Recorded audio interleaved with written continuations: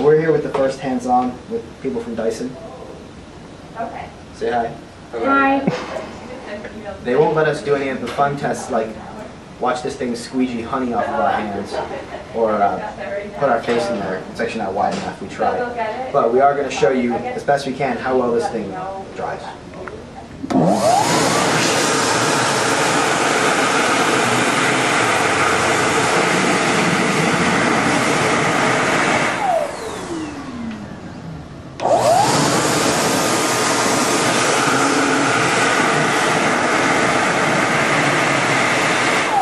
I'm uh, trying to give you a visual representation of the water droplets. So you got to pretend that these are water. So you can actually see what would happen if you were water and you were sitting on my hands when I put them in the Dyson Airblade.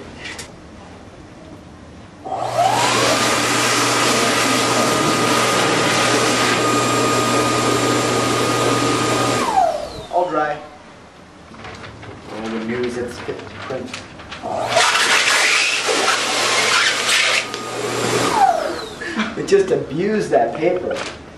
I don't know if I want to put my hands in there.